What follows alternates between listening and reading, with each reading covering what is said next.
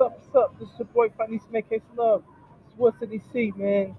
Uh, this episode, this episode, I want to say congrats, congrats, to the Cap for a historic game. uh, historic game, man. Great game. Gets the uh, beat the Philadelphia Flyers in Philly once again, five to three. And so Connie, uh, Conor, um, Sheary had a, had a goal. Uh, Sheary had a goal. Uh, Ovechkin had a had a goal. Um, John Carlson had a goal, has 500 points, third fastest defenseman to do so.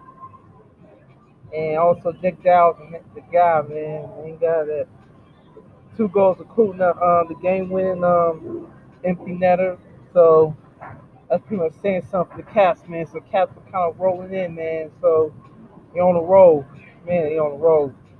So man, they I mean, they're on the road, man. So, also Ilya um, Samsonov had 30 saves. So it was a lot of fights in the game. It was uh, it had me for a little bit, kind of nail battle right at the end. But I think they, they really got it done. So um, congrats to the Caps. Hope we can do it again tomorrow. Against the same team, the Flyers, once again in Philly. I think the only team, this only game that Caps actually see fans.